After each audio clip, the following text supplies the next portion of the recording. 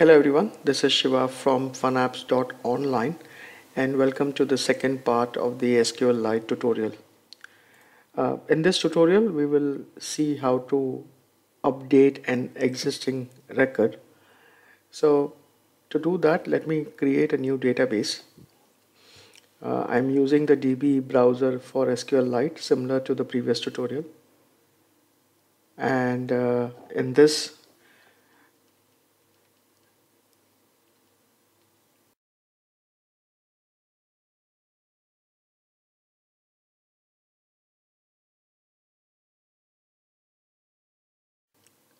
I'm creating a new table table student and let's have three fields. Uh, ID uh, which is going to be unique for every student the name and the grade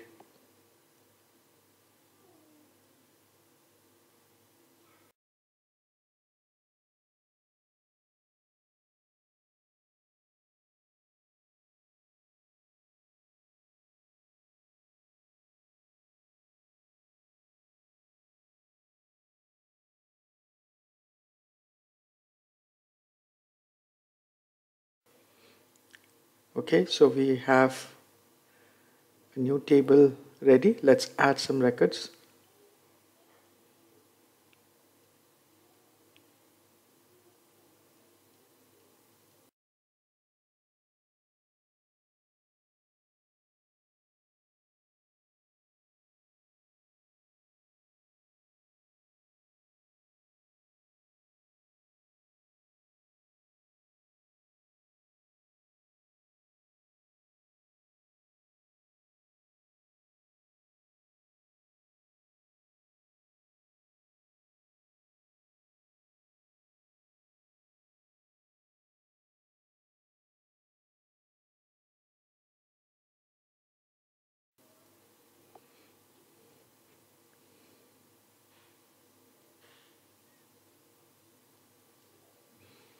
I think four records is good enough. And uh, let's close the database and go back to B4A.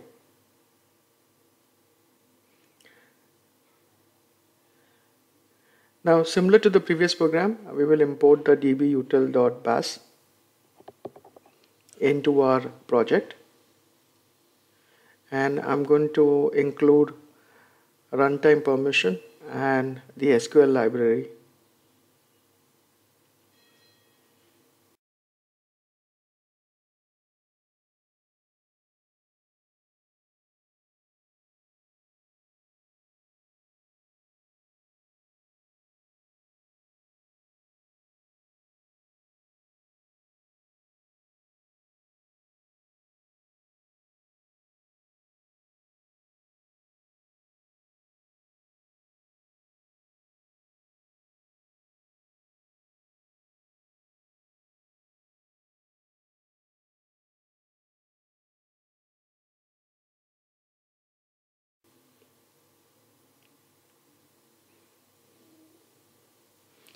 So we are going to again create SQL1 as SQL and uh, we will again check whether the database exists in dir internal and if not we will copy it from file directory assets uh, similar to the previous tutorial.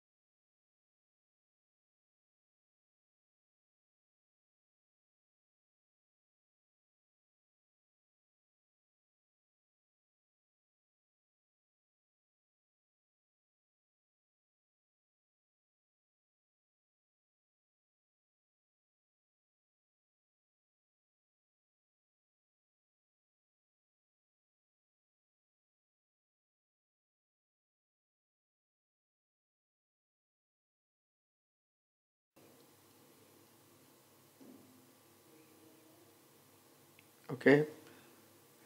I think I put the wrong table. Okay so it's master data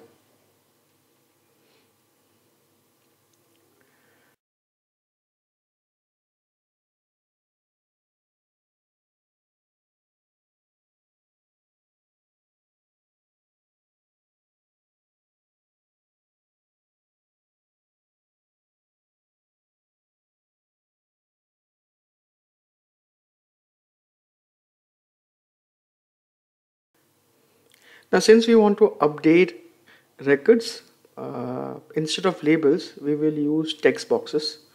So the text box can be used to display the field as well. And uh, if you want to make any changes, uh, we can just type in those text boxes and then we'll update that data.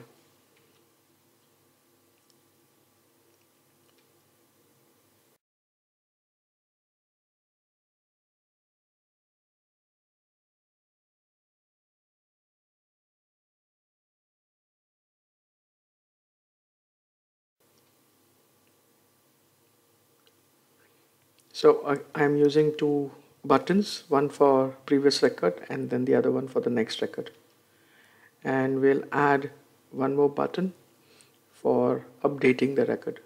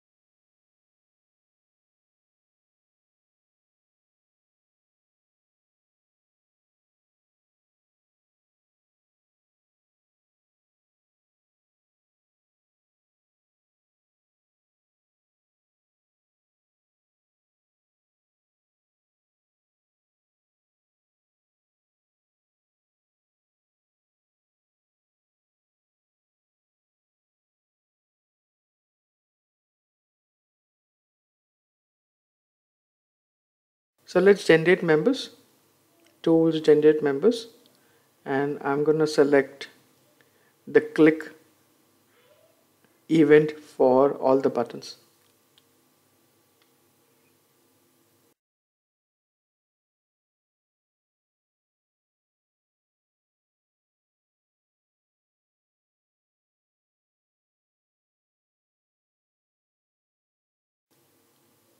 So we have all the variables in the project.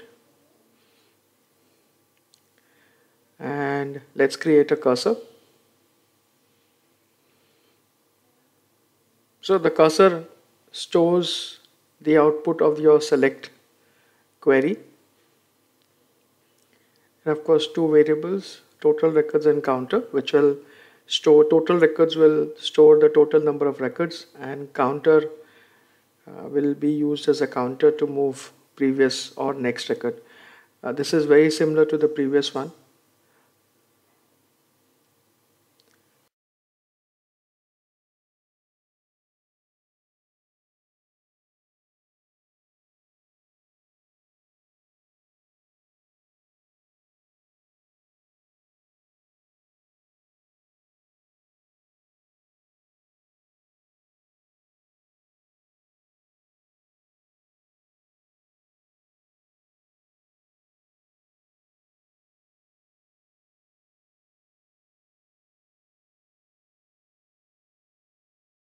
So I'm using the select statement to select all the records and the output of which would be stored in vmaster cursor.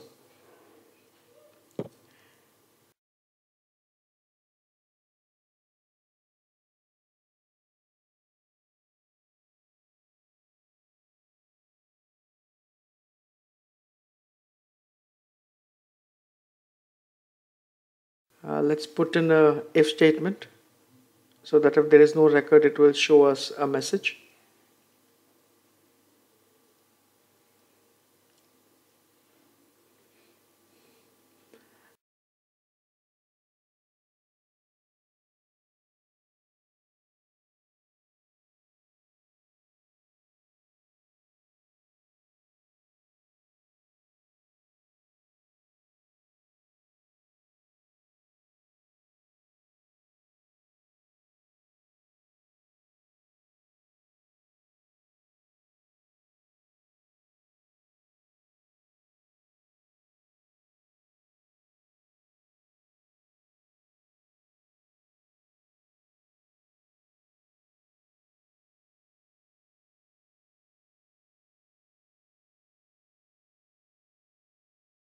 And uh, we'll move the cursor to the first position that is 0.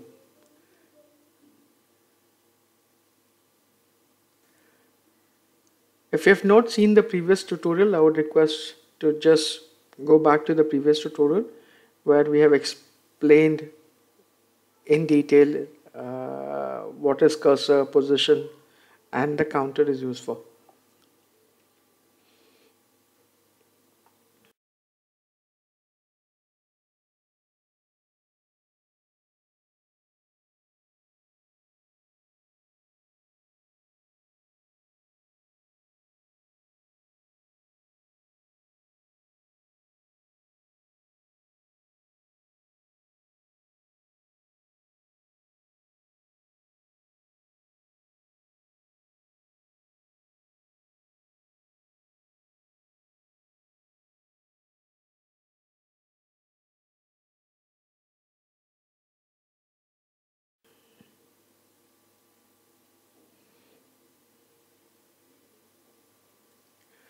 So what I have done over here is I have created a function display table data and all it does is it just copies the data from the current cursor position into the text fields.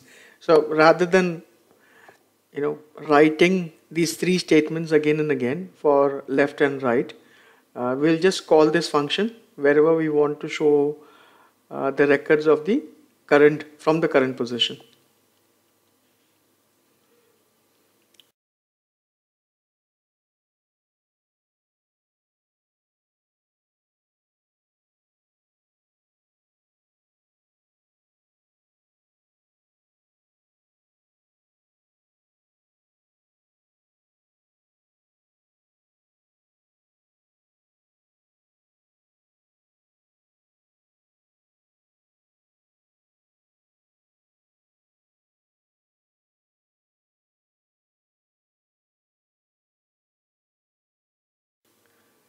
So in the right button, I'm checking whether the counter is equal to the total number of records, which means it's in the last record and uh, we'll show the message. If not, we will increment the counter by one and then change the position of the cursor to that particular point and then display the table data.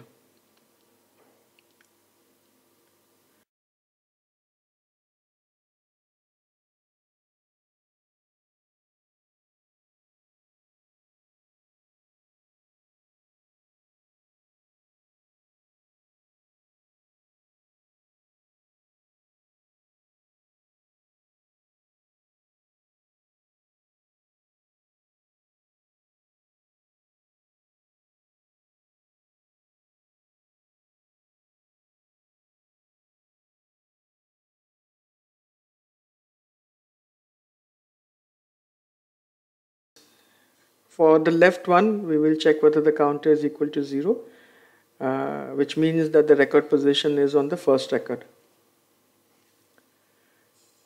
If not, we will minus the counter by 1 and then display the table data.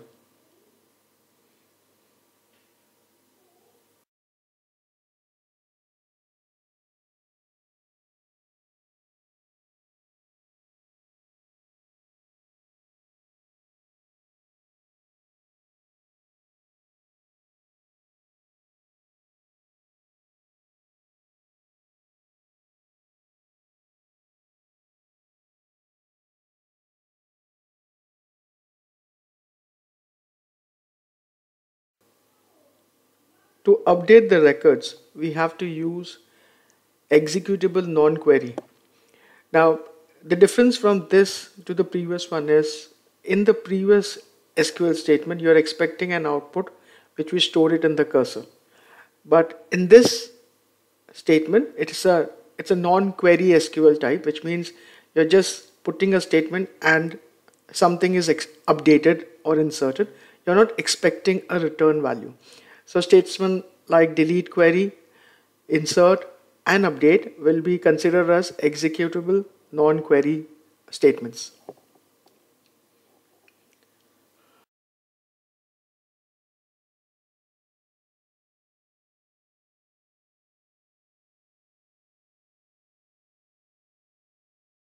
Over here, we are going to use the update SQL statement, which will update the table with the values from the text boxes.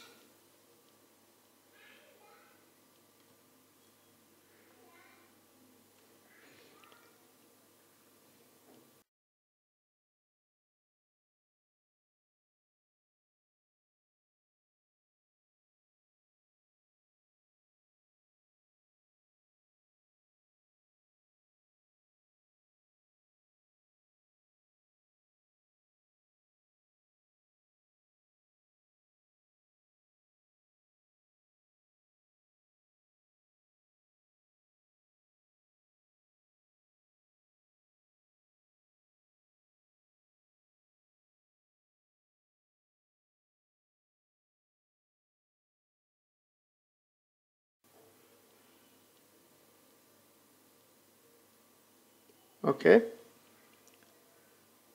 And once you update it I'm just gonna load the SQL statement once again so that we can see the updated record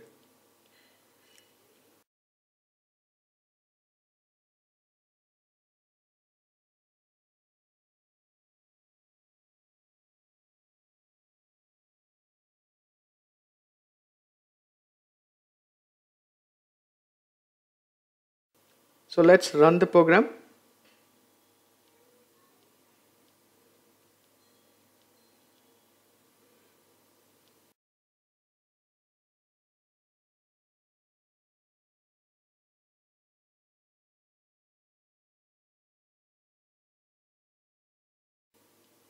Okay.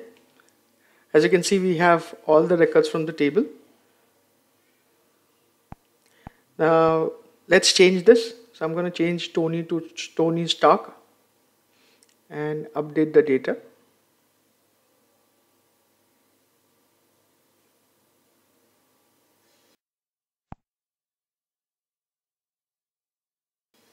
And let's see whether it's been updated or not. Yes, it has been. Okay, let's change one more record.